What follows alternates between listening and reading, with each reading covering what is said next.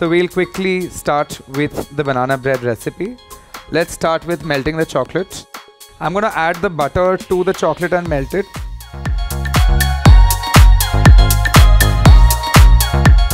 Now this one's going to be more buttery than chocolatey because it's a bread not a brownie. So when you melt your chocolate and butter, it's going to be like brown goldy color. It's going to be very smooth. So you melt it till it's super smooth and then you keep mixing it. We got the three ripe bananas. I'm going to mash them.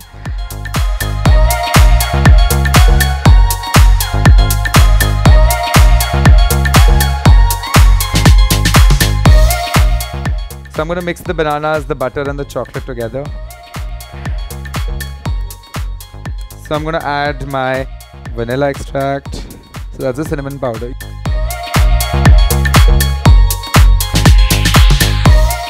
So I'm to take my baking powder. I'm to take a lot of stevia. I'm to take the flour.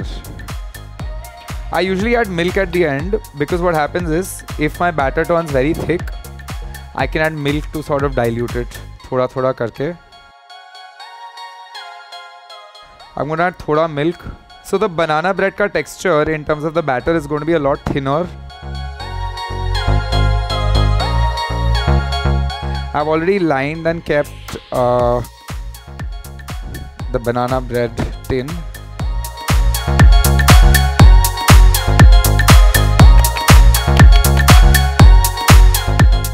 For 15 minutes. For 180 degrees yes